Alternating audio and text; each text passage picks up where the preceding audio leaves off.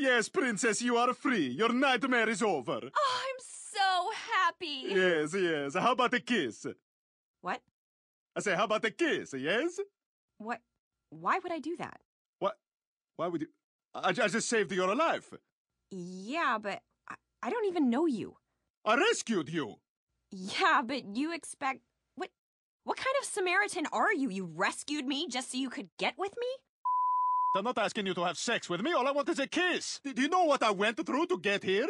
Ooh, you leaped a bunch of mushrooms. I'm so impressed. Well, you're the one who got captured by mushrooms. I mean, you know how what? the Don't hell does turn that this even around. happen? Don't flip this. I'm not. That you got kidnapped by something that goes on a salad. Okay, it's a little more complicated. And by the way, by the way, I did not just leap a bunch of mushrooms. There were also these turtle shell things I had to jump over, and that was that was really hard. And the only help I got was every once in a while a gold star would appear up above me, and I would jump up and touch it, and it would go da da da let that let let that that that let that let let, and then that, that help a little bit, and I feel a little better. But it was hard. I mean, the, the whole thing was really hard.